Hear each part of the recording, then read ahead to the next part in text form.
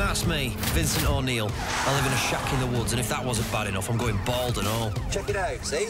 You're a bit follically challenged. These are my guys. We just have a different way of living. That's Dylan. He's been my best mate since schooling. And this is Erin. She used to be a wild child, but she's really pulled herself together now. Give me the leg, what? Three of us in this relationship. For us, I'm the one getting the least sex.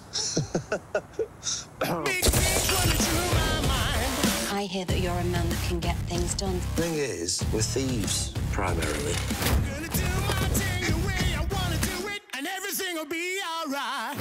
This isn't how normal people live. You want to buy some chloroform?